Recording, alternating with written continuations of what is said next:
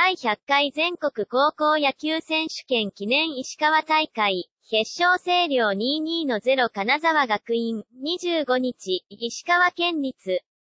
今春選抜8強の清涼が、金沢学院に対象し、2年ぶり19度目の夏の甲子園出場を決めた。